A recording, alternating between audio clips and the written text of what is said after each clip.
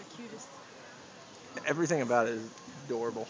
It's got like fluffy tail, hmm cute pointy ears like Pomeranian, little nose, pretty black eyes, Charge at us. fluffy different colors, tiny little paw hand, cute little cat in a box, and a bear. Eat you. Hey, look, there's a little red Yeah, panda over here. in the I know. It's same. You can see his face pretty good down here. See that middle one? Right Totally, Like uh, right down here. Oh, look at that.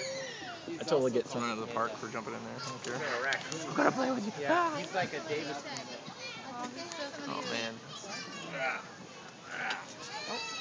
On the move. I think so. There he is. Look at him. Look at him, baby love.